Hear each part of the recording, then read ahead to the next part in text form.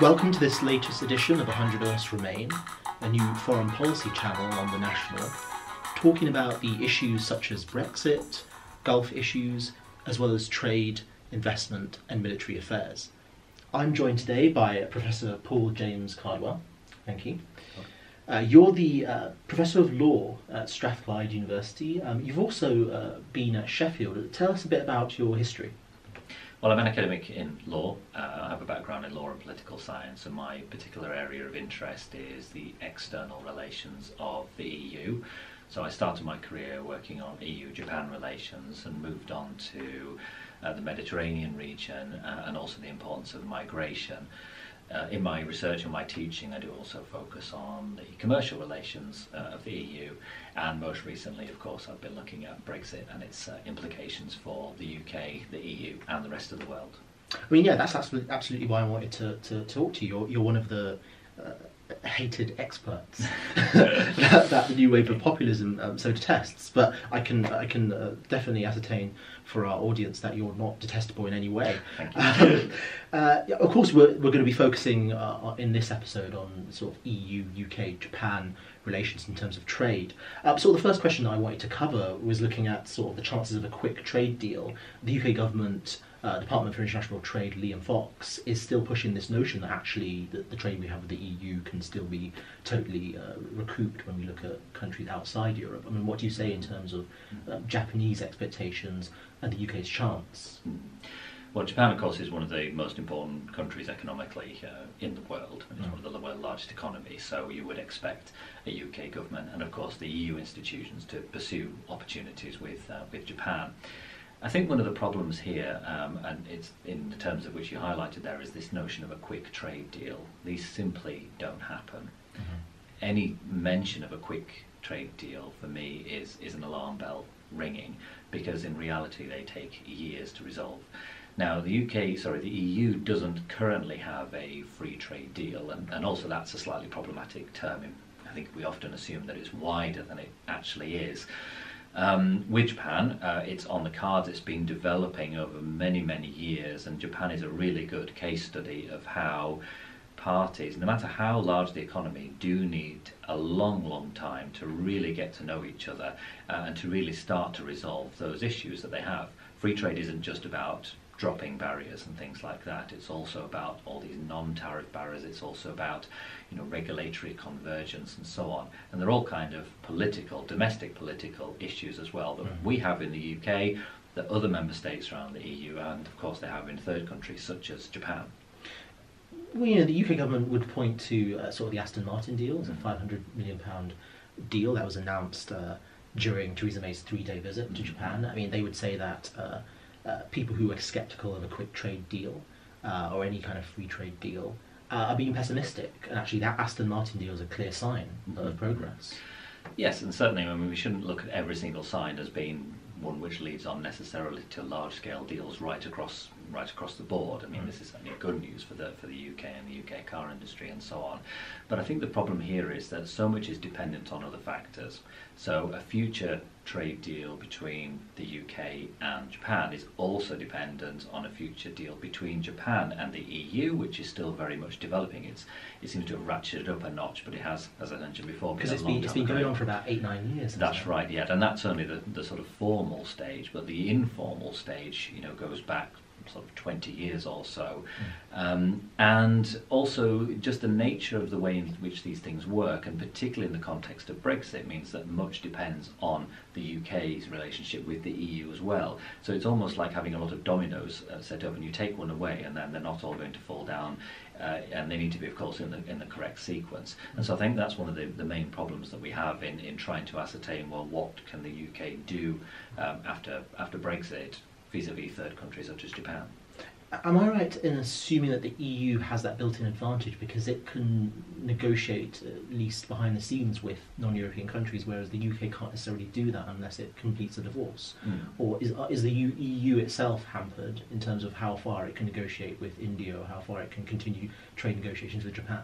Well, the EU has what we call exclusive competence. So under the commercial, the common commercial policy, it's written in the treaty, and the treaty is written by the member states. So the UK agreed to this and has always been supportive of this. So the EU doesn't negotiate behind the scenes. I mean, closed negotiations and so on, but the position papers there and so on. And so they are in a continual process of negotiation with countries, like say India, Japan, countries all over the world. The UK can't do that because the treaty prevents it from doing so. But as I said, the UK was one of the member states who wrote the treaty, signed it, and has amended it when it's been the Treaty of Lisbon and so on as well. And Yeah. the UK has always been supportive of it. The reason why member states can't do their own trade deals is simply that it would undermine the single market. So if you had a, a goods deal with another country, but because we don't have barriers to goods within the EU, then that means that a member state that has a separate trade deal, the goods could come into that country and then they're, they can go elsewhere within the EU. So it simply wouldn't work. So the fact that we have this state of affairs is, is actually a logical counterpart to the single market um, itself. Now, yes, you're right that the UK can't negotiate because that would be breaching the treaties, and the government has said no, we will uphold the law whilst we are still a member of the EU. Of course, there's nothing to prevent the UK and, and doing what Liam Fox has been doing in trying to, to set up future trade deals. I mean, I, I think that's that's a logical thing, and that's what we would expect a UK government minister to be doing to to start to prepare. Um, but as I said, because of all the other things that are going on in terms of the relationship with the EU, and and again in the case of Japan, because its own um, agreement with the EU is still developing, um, it's difficult to get anything more than just signals that uh, this can be put in place once the UK uh, leaves. What about the theory that the UK completes its divorce um, with the EU, and because it is a single nation, uh, it doesn't really matter about all this groundwork that's been laid by the EU as a collection of member states. It will speed on through, a complete deal with sort of the two countries that we've we've um, we've focused on, uh, India and Japan, and actually the EU will be lumbering on and, and still negotiating with Japan and India while this while, while the UK actually speeds ahead. And what's your argument about the idea of sort of a collection of member states always being slow and laborious? Mm. I mean, yeah, one of the criticisms of the EU is, is just that, that it is, because it's made up of numerous member states, all with different interests, means that you know, blockages can, can come along as well because of domestic politics, which might have nothing to do with the grander scheme. India is a good example, of course, where we know, uh, and it's been clear from the government there, that re, uh, the migration of highly skilled individuals is something that they would want in exchange for access to its considerable market of over a billion people. And of course, it was the UK, and particularly Theresa May at the Home Office, that was very much against that. So the UK is going to come up against the same uh, problems. Again, there's a bit of an assumption, I think, though, that the EU is necessarily slow and cumbersome because it's got so many member states in Mm. it.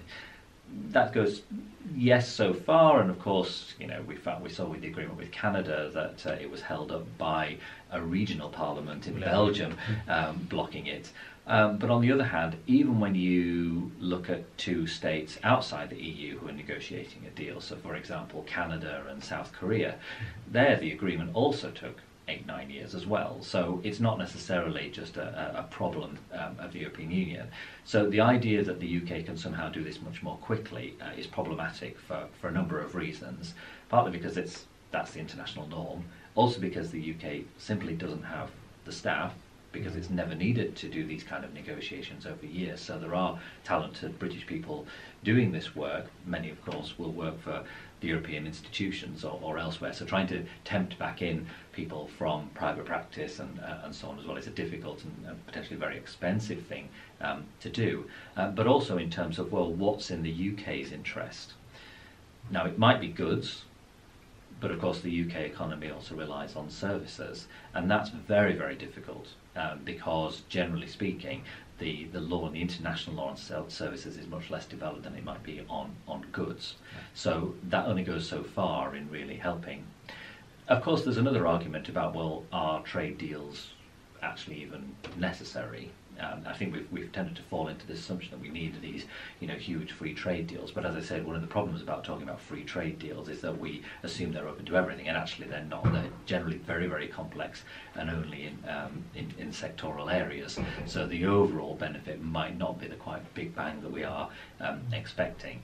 Um, but certainly we can see from um, the recent launch of the, the Canada EU um, deal, and certainly British government departments were you know, promoting the opportunities of this to, to British businesses. But of course, that only lasts so long as we're a member state of the EU. So the final question that I wanted to ask was, uh, how do you think uh, a possible sort of UK-US Atlantic Bridge kind of treaty uh, would affect the UK's already declining relationship with Europe and also with uh, non-European countries as well. I mean, is it a case? Is there a zero-sum game of an increased Atlantic cooperation means inevitably that that those sense of bonds, connections, opportunities for trade will sort of immediately or precipitously decline over the over the next sort of twenty years. Mm. I think almost the, the same the same logic applies. I mean, if the UK wants to enhance cooperation with the US in, in economic terms, then it's going to come up against some pretty problematic um, issues. And, and also in terms of regulation and so on as well, will that be compatible with any agreement that there is with the rest of the EU? Uh, how open is the US going to be, and particularly again going back to the question of services and so on as well, and that's before we've even got onto the sort of chlorinated chicken um, things, which has become you know a sort of cause célèbre um, in the thing. So it's really uh, trying to see how the jigsaw all, all fits together, and the problem that we have at the moment is you know the clock is ticking, the EU exit is coming because two years after uh, the launch of Article 50 or the notification of Article 50, the UK leaves the EU unless there's an extension which has to be agreed by all EU member states, all other EU member states, um, or the UK government tries to retract um, and uh, somehow take back uh, its Article 50, which there is discussion in legal circles about whether that is in fact uh, possible to, to do without the say-so of the other member states or perhaps the, the, the, Court of Justice. So really to try and look for a kind of a, a sort of saviour agreement I think is very, very uh, problematic and really everything depends on the extent to which the UK and the EU conclude a deal. Um, but if we don't uh, find that there is a you know a, a deal or going forward after that, a transition deal and so on, then you know there really is you know huge economic problems, but also legal ones um, as well. Um, and I think the danger is then trying to rush into quick deals as quickly as possible. We know generally that law which is made quickly tends not to be very good law, and I think the same is also true of commercial deals, just to try and show that they are happening uh, because the risk is there. You can find uh, you know things being signed away that actually you know may risk, such as you know uh, NHS um, uh, services and so on. The, the theory is if the economy relies on, on the idea of com- of confidence mm. and the, the, confidence trick that you know markets go up, markets go down based on a sort of feeling in the ether, then maybe you know the odd deal here and there is a good thing. Maybe, maybe so. Uh, yes, but I think you know it's it's just this idea that things can be done quickly. Mm. Um, I think uh, is is very problematic, um, and that's one of the things that I'd certainly argue against.